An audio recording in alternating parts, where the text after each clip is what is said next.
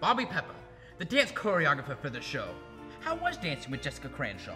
Let's just say, dancing with a woman with two left feet makes doing a chenet more like doing a chenot.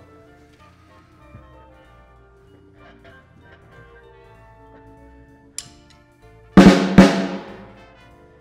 you want to find out who did it? Come see curtains opening on February 2nd at Hanford High School.